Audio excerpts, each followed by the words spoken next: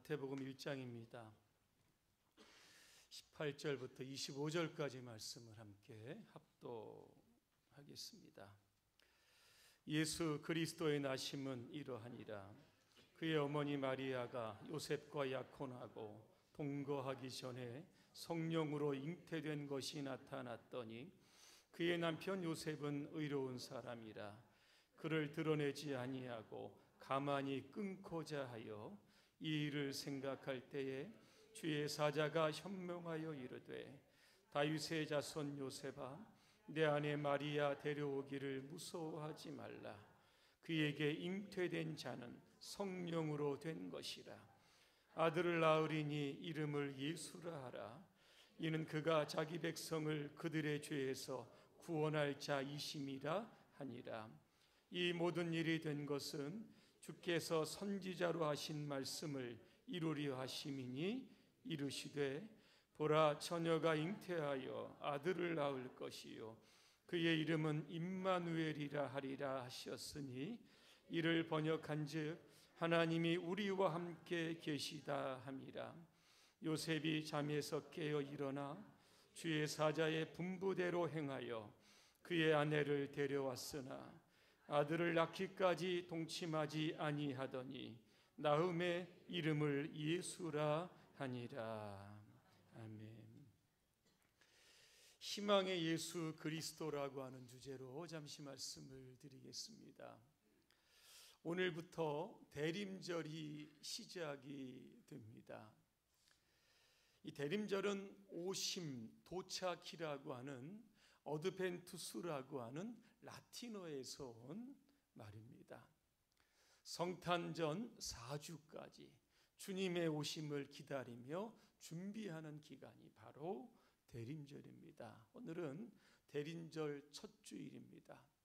희망의 예수 그리스도를 오늘도 기대하고 기다리시는 저와 여러분이 되시기를 주님의 이름으로 축원합니다.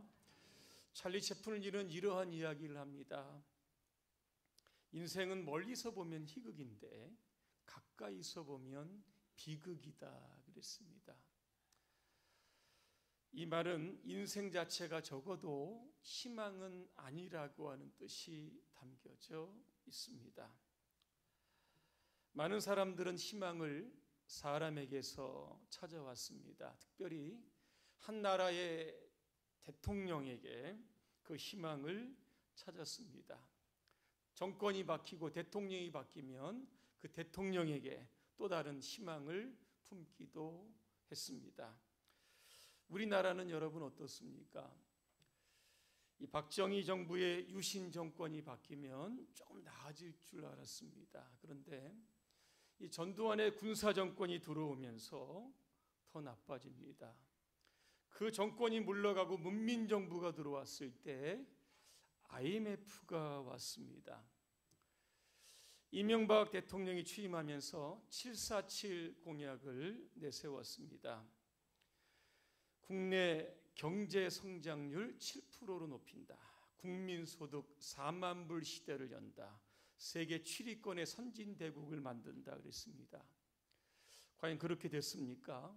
그렇게 이야기했던 분은 도대체 지금 어디에 있습니까? 박근혜 대통령은 취임 1주년을 맞이하면서 경제혁신 3년 계획을 발표합니다. 성장률 4%, 고용률 70%, 4만 달러 시대 공약을 합니다. 여러분 어떻게 됐습니까?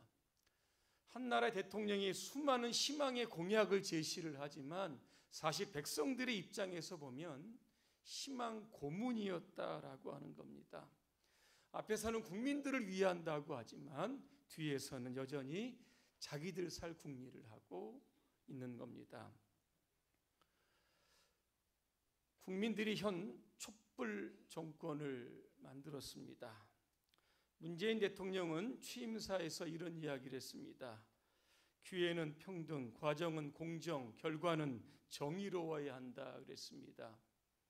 우리가 아는 것처럼 불과 몇 달 전에 조국 씨를 법무부 장관으로 임명한 순간부터 나라는 극도로 양극화되고 분열이 됐습니다. 진보는 서초동 검찰청사 부근에서 검찰개혁을 외쳤고 보수는 광화문에서 법무부 장관 퇴진을 외쳤습니다. 공의와 정의 때문에 진보와 보수가 싸웠습니다.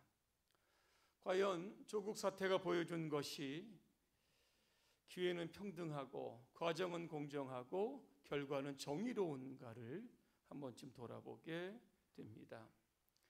대통령이 바뀔 때마다 수많은 공약을 제시하지만 그러나 결과는 바라는 대로 되지 않았다라고 하는 겁니다. 그러면 희망은 도대체 어디서 찾아야 되는 것일까?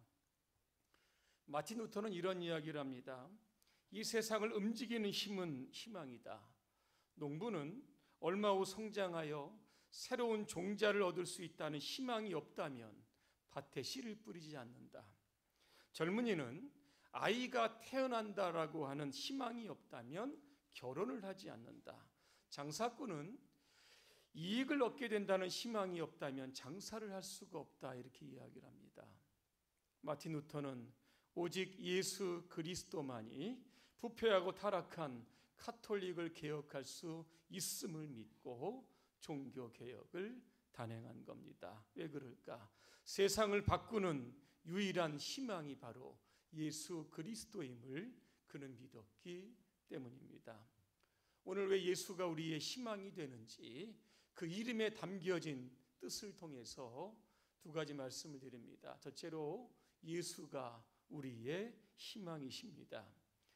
마리아가 요셉과 약혼을 합니다. 그런데 동거 전입니다. 그런데 뜻밖의 마리아가 잉태를 하게 됩니다. 요셉이 가만히 끊고자 했다 그랬습니다. 약혼 파혼한다는 뜻입니다. 그런데 주의 사자가 현몽합니다. 마리아는 성령으로 잉태된 것이다. 이 부분을 강조합니다. 왜 그럴까? 왜 예수님은 동정녀 마리아를 통해서 이 땅에 태어나신 것일까? 이유는 한 가지입니다. 죄 없는 모습으로 이 땅에 오시기 위해서 그런 겁니다. 베드로전서 2장 22절에 보니까 예수님은 죄를 범하지 않으셨다 그랬습니다. 세상에 유일하게 죄가 없는 분은 바로 예수 그리스도입니다. 구약에 보면 사람들이 자기의 죄를 용서받기 위해서 하나님 앞에 제물을 드립니다. 그때 하나님께 드리는 제물의 조건이 뭐냐면 흠이 있거나 티가 있으면 안 되는 겁니다. 뭔가 부정하고 뭔가 상한 것을 하나님 앞에 드리면 그 죄물이 그 사람의 죄를 살 수 없다라고 하는 뜻입니다. 마찬가지로 우리의 죄의 문제를 해결하시기 위해서 오신 예수님은 죄인의 모습이 아니라 죄가 없는 모습으로 오시기 위해서 여자의 후손으로 이 땅에 오신 겁니다. 예수님의 동정녀 탄생은 창세기 3장 15절의 말씀을 성취한 말씀입니다. 제가 한번 읽어드립니다. 나는 너를 여자와 원수가 되게 하리라. 내 후손을 여자의 후손과 원수가 되게 하리라. 너는 그 발꿈치를 물려고 하다가 도리어 여자의 후손에게 머리를 밟히리라 그랬습니다. 나는 누구일까? 하나님입니다. 너는 누구일까? 사탄입니다. 여자의 후손은 누구일까? 바로 예수 그리스도입니다. 사탄을 그 권세, 그것을 결박하고 그것을 깨뜨릴 수 있는 것은 결국 죄 없는 모습으로 이 땅에 오신 예수 그리스도 그 한 분만이 하실 수 있기 때문에 예수님은 동정녀 마리아의 몸을 빌려서 이 땅에 오신 겁니다. 자, 그러면 예수님이 죄 없는 모습으로 이 땅에 오셨다라고 하는 것은 죄 있는 우리를 위해서 놀라운 구원의 역사를 이루어 가신다는 겁니다. 그러면 우리는 모두 다가 죄인입니다. 로마서 3장 23절에 보니까 모든 사람이 죄를 범하였음에 하나님의 영광에 이르지 못한다 그랬습니다. 혹시 여러분 중에 나는 죄인이 아닙니다. 그렇게 생각하는 분 계십니까? 요한복음 8장에 보니까 사두개인과 바리새인들이 한 여자를 예수님 앞으로 데려옵니다. 그러면서 이렇게 이야기합니다. 선생님, 이 여자는 음행 중에 잡힌 여자입니다. 모세는 율법에 돌을 가지고 이 여자를 치라고 했는데 선생님은 무엇이라고 말씀하시겠습니까? 질문을 합니다. 이때 예수님께서는 아무 말씀도 안 하시고 몸을 굽혀 손가락으로 땅에 뭔가를 쓰시기를 시작을 합니다. 그리고서는 모였던 사람들을 향해서 요한복음 8장 7절에 이렇게 말씀합니다. 너희 중에 죄 없는 자가 먼저 돌로 치라. 그리고 또다시 몸을 굽혀 손가락으로 땅에 뭔가를 쓰시기를 시작합니다. 그때 주변에 있었던 수많은 사람들이 예수님께서 하셨던 말씀, 너희 중에 죄 없는 자가 먼저 돌로 치라. 그 말씀에 양심의 가책을 느끼게 됩니다. 어른부터 젊은이까지 하나씩 하나씩 그 자리를 떠나게 됐다는 겁니다. 여러분, 왜 사람들이 그 자리를 떠났을까? 모두가 죄인이기 때문에 그런 겁니다. 예수를 히브리어로 보면 구원자, 구세주라고 하는 뜻이 담겨져 있습니다. 우리를 죄로부터 구원할 자라고 하는 뜻이 담겨져 있는 겁니다. 모든 사람 안에는 죄가 있습니다. 이 죄는 유전이 됩니다. 사도 바울은 이 죄 때문에 많은 고민을 하다가 이러한 탄식의 고백을 합니다. 로마서 7장 22절부터 24절까지 말씀 제가 한번 읽어 드립니다. 나는 내 마음속으로는 하나님의 율법을 반기지만 내 몸속에는 내 이성의 법과 대결하고 싸우고 있는 다른 법이 있다라고 하는 것을 알고 있습니다. 그 법은 나를 사로잡아 내 몸속에 있는 죄의 법의 종이 되게 합니다. 나는 과연 비참한 인간입니다. 누가 이 죽음의 육체에서 나를 구해 줄 것입니까? 이런 탄식의 고백을 합니다. 죄가 있다라고 하는 것은 우리 안에 죄성이 있다라고 하는 겁니다. 예레미야 선지자는 예레미야 13장 23절에서 이렇게 고백을 합니다. 표범이 자기 몸의 반점을 바꿀 수 있느냐 그랬습니다. 바꿔 이야기하면 우리 스스로가 이 죄라고 하는 문제를 해결하려고 노력을 하지만 죄 자체가 제거가 되지 않는다라고 하는 겁니다. 이 힌두교인들은 이 죄성을 해결하기 위해서 일평생 일하지 않고 허스름한 옷을 입고 길거리를 방황한다고 합니다. 남미의 어떤 천주교인들은 채찍을 만들어서 자기를 치면서 몸에 피를 흘리면서 이 죄의 문제를 해결하려고 합니다. 그리고 아프리카의 14살 먹은 소녀는 자신을 십자가에 못 박으라고 동네 사람들에게 이야기한다고 합니다. 여러분, 이렇게 하면 죄의 문제가 해결이 됩니까? 그렇지 않습니다. 오히려 그 안에 죄로 인한 고통과 아픔이 오는데 이게 바로 죄의 의식입니다. 사람이 죄를 범하면 가장 내가 먼저 나를 고발합니다. 그 양심이 오늘 우리 각자를 향해서 너는 죄인이다. 그렇게 선언하는 겁니다. 모르는 척 덮어놓고 싶고 생각을 안 하려고 해도 이 죄의 문제가 이게 사라지지 않는 겁니다. 이 죄의 문제는 오늘 우리의 영과 육체를 피폐하게 만듭니다. 영혼을 죽이고 육체를 죽이는 겁니다. 그래서 죄의 결과를 가리켜서 로마서 6장 23절에 보니까 죄의 싹은 사망이다 그랬습니다. 사망이라고 하는 것은 영적인 죽음입니다. 하나님과 분리됩니다. 이 땅에서 하나님과 분리되어서 죄를 가지고 살게 되면 그게 바로 지옥입니다.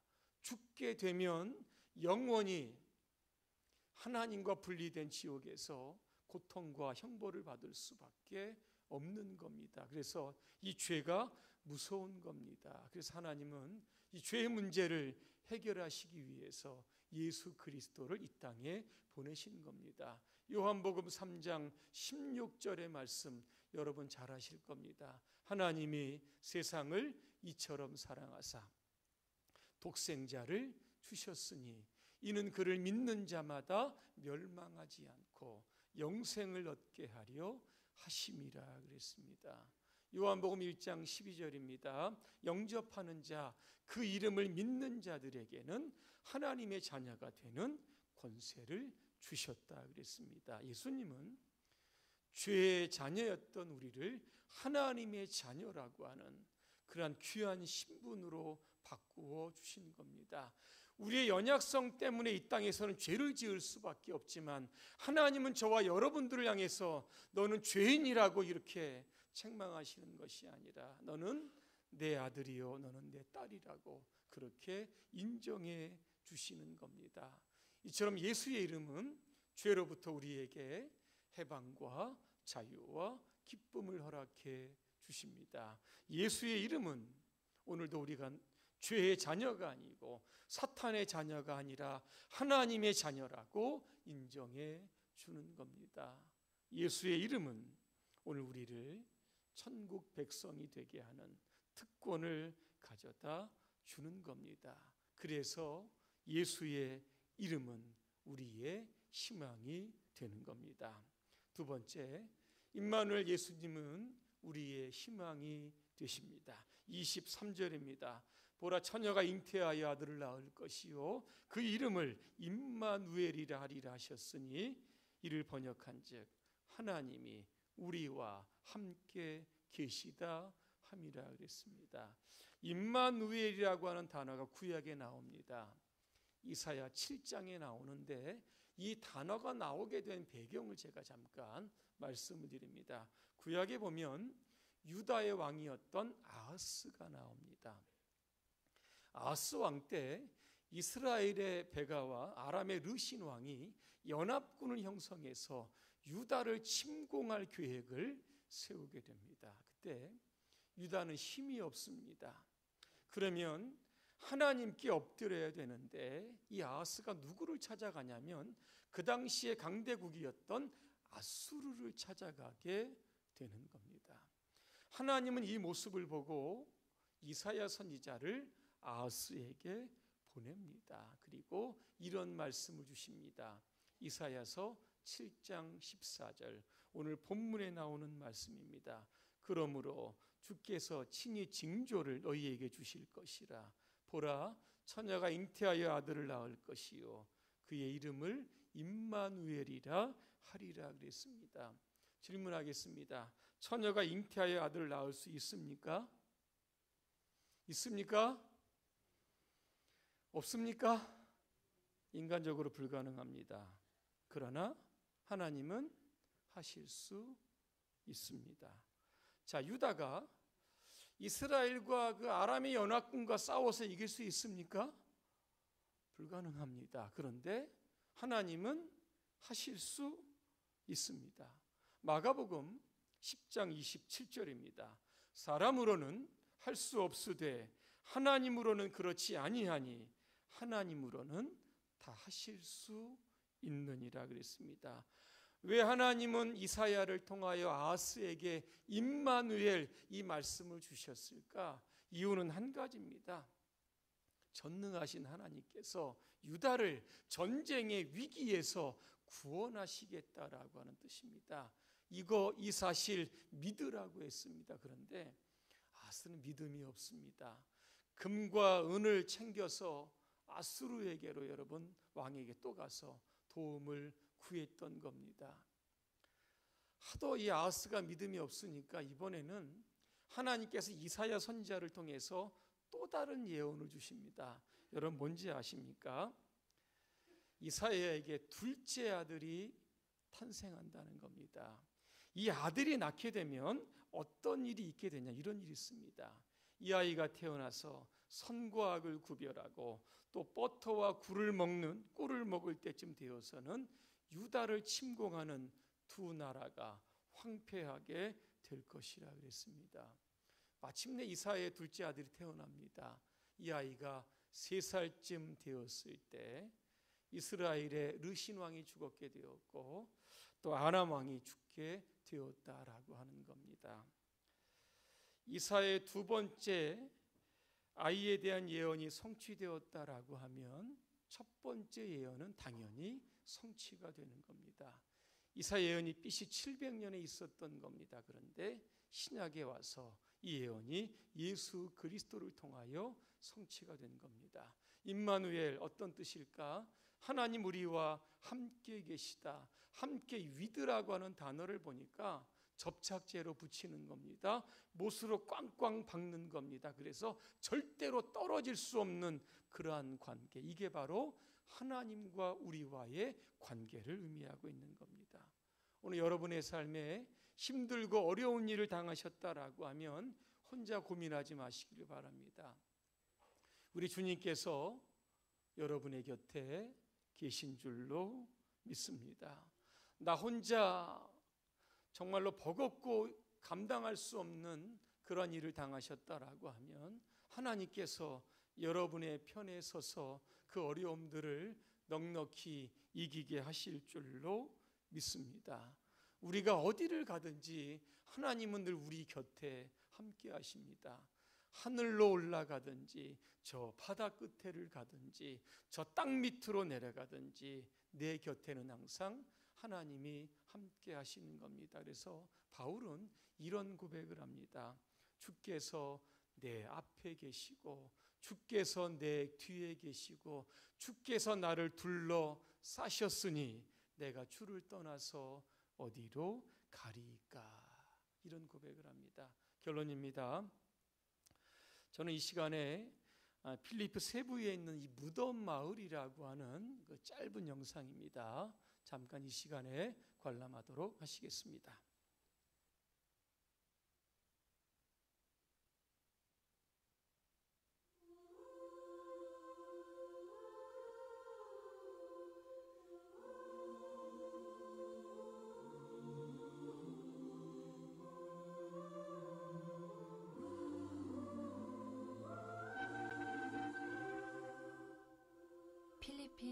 세부의 무덤 마을을 방문했습니다. 만 3천 명이 살고 있다는 무덤 마을로 가는 길은 무척 좁았습니다. 마을에 들어서니 무덤들 사이에 두 평쯤 되는 판잣집들이 가득 차 있었고 아이들은 털이 빠진 병든개와 닭들과 함께 무덤 위에서 놀고 있었습니다. 머리를 빡빡 민 한 소년이 아기를 안고 있었습니다. 심한 눈병으로 눈조차 떼지 못하는 소녀는 아기가 울어대자 계속 뽀뽀를 합니다. 아무것도 없는 소년이 동생에게 할 수 있는 유일한 사랑 표현인 것 같습니다. 한쪽에선 어른들이 묘를 파헤쳐 시체를 꺼내고 있었습니다. 아이들이 모여서 구경을 합니다. 묻었던 시체를 꺼내고 다른 시체를 넣으면 돈을 좀 받을 수 있다고 합니다. 꺼낸 시체는 비닐봉지에 담아 묘 옆에 던져놓습니다. 단테의 신곡에 보면 지옥으로 들어가는 문에는 이런 글귀가 써 있다고 합니다. Abandon hope who enters here. 이곳에 들어오는 자 희망을 버릴지어다. 산자와 죽은 자가 뒤엉켜 사는 무덤 마을. 그곳은 지옥을 연상시켰습니다.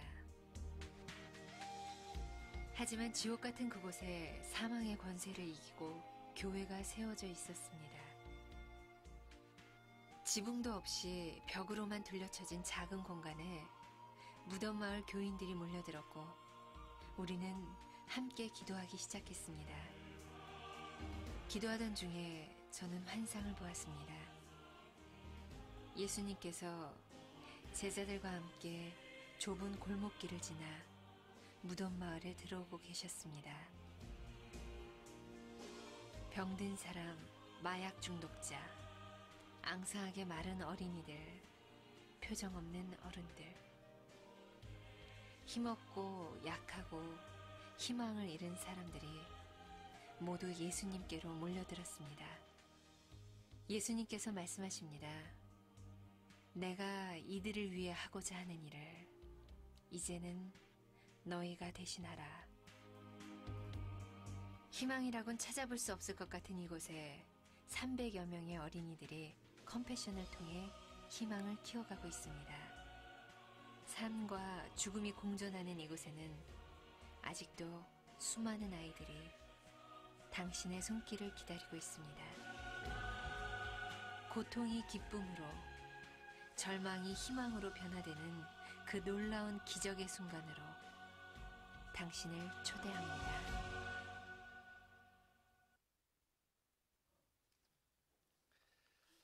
여기 나온 연예인은 여러분 시네라 씨입니다. 그가 그곳을 방문하고 환상을 보게 돼서 했던 이야기를 다시 소개합니다. 예수님께서 제자들과 함께 좁은 골목길을 지나 무덤 마을로 들어오고 계셨습니다.